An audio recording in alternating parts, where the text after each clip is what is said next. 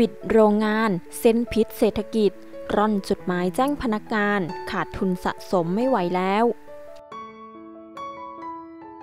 สถานการณ์เศรษฐกิจเป็นสิ่งที่หลายฝ่ายกังวล ท่ามกลางสัญญาณเตือนหลาย ๆ อย่างที่ไม่ค่อยสู้ดีนัก ไม่ว่าจะเป็นค่าเงินบาท อัตราการว่างงาน ค่าของชีพที่เพิ่มขึ้น และหนี้ครัวเรือนที่เพิ่มสูงขึ้นอย่างต่อเนื่องทำให้ประชาชนและภาคธุรกิจเองก็ไม่สบายใจนัก ล่าสุดมีการแชร์จดหมายของบริษัทเกี่ยวกับการพ่นสีชิ้นส่วนยานยนต์ และอุปกรณ์ต่างๆ ที่ตั้งอยู่ตำบลบ่อวินอำเภอศรีราชา ได้ประกาศแจ้งพนักงานว่า